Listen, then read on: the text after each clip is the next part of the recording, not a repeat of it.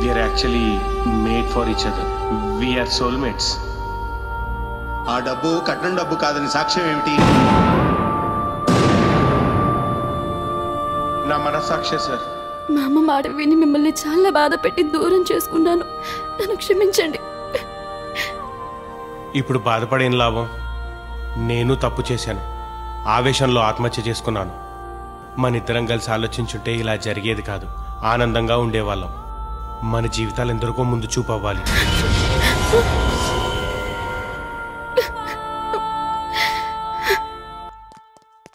Boss ఒక good news boss. ఏంటంటి మీ ఫ్యామిలీ మీద ఫోర్ నైన్టీ ఎయిట్ కేసుని మీ వదిన గారు విత్డ్రా చేసుకున్నారు. అవునా? వదిన ఎక్కడుంది? ఆవిడ ఇప్పుడే జస్ట్ తెలిపారు ఆ, మిమ్మల్ని అందరినీ నిత్య పెళ్ళిలో కలుసుకుంటామన్నారు ఓకే.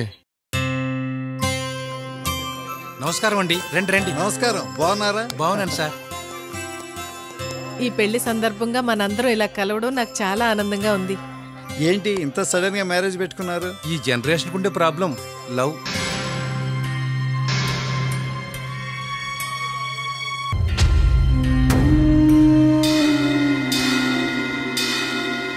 అసలు మీ ప్రాబ్లం ఏంటి?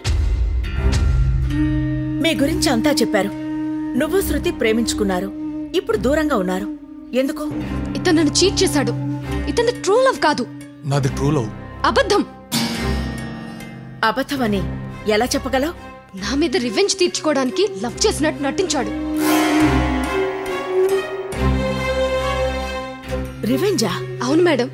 ఇతను నన్ను ప్రేమించింది పెళ్ళి చేసుకొని నా మీద పగ తీర్చుకొని కేసు వినవడానికి అమ్మా శృతి. నాన్నా నీకేం తెలీదు నువ్వు ఊరుకో. తనకు దేవుడంటే నమ్మకం లేదు. నమ్మకం ఉన్నట్లు నటించాడు. స్మోకింగ్ డ్రింకింగ్ అలవాట్లేదని అబద్ధాలు చెప్పాడు. వాడు చిన్న చిన్న అబద్ధాలే చెప్పుండొచ్చు. కానీ నిన్ను వాడు నిజంగానే ప్రేమించాడమ్మా. మీ అబ్బాయి కనుక వెనకేసుకొస్తున్నారు. అయ్యయ్యో లేదమ్మా. వాడిని అర్థం చేసుకోమ్మా. మీరిద్దరూ పెళ్ళి చేసుకోవాలని నువ్వే మా ఇంటి కోడలుగా రావాలని ఎన్నో కలలు కన్నాను. మీరు కలలు కన్నారు మీ వాడు డ్రామాలాడాడు. ఇవన్నీ నాకెలా తెలుసని అనుకుంటున్నావా?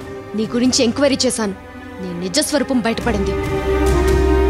మొన్నటికి మొన్న ఒక సాడిస్ట్ పైన కంప్లైంట్ చేసి అరెస్ట్ చేయిస్తే వాడికి బెయిల్ ఇచ్చి బయటకు తీసుకొచ్చావు అది కాదు శృతి. స్టాప్ ఇట్ నువ్వింతవరకు చేసింది చాలు. నన్ను ఇంకా నమ్మించాలని ట్రై చేయకు. శృతి తనేం చెప్తున్నాడో వినొచ్చు కదా? అవసరం లేదు మేడం. నేను ఇంకా నమ్మి మోసపోలేను. యు చీట్ శృతి. అమ్మా.